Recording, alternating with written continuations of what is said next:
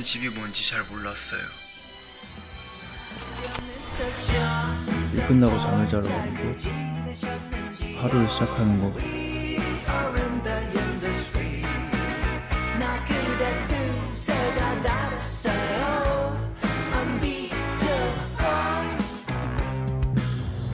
저한테 집이라는 공간은 그 정도의 정의로는 부족했나 봅니다.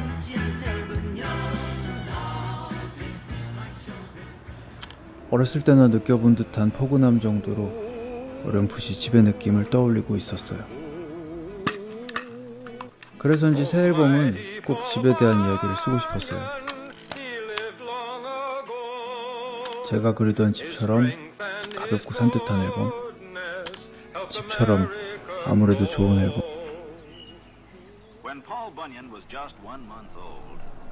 저 스스로를 위한 치유의 말들을 담아가면서 축축 가라앉는 무거운 말들이 아닌 노래 부르면 훨훨 날아가는 가벼운 말들. 이를테면 행복이라는 말이라든가. 그래서 우선 숙소에서 작업을 시작해봤어요.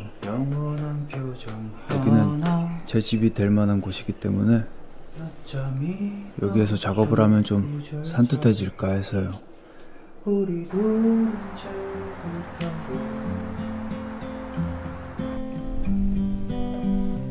이 앨범은 그렇게 집에서 오후에 주로 창밖을 바라보거나 잠옷을 입고 침대맡에 앉아서 만들어졌습니다.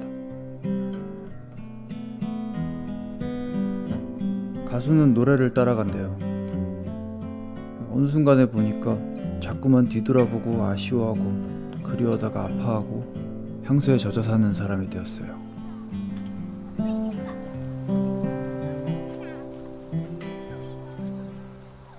제가 이번 앨범을 만들면서 포착한 제 모습 중 하나를 보여드릴게요.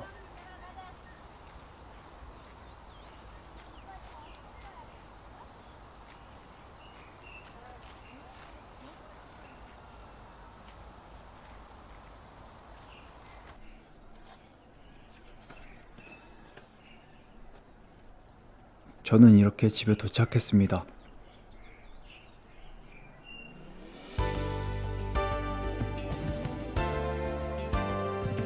당신은 어디쯤에 계신가요?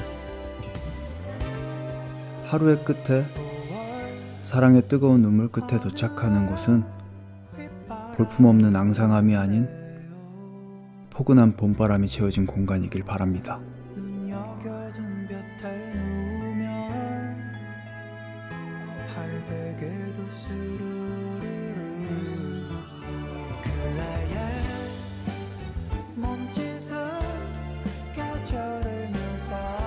최정훈 드림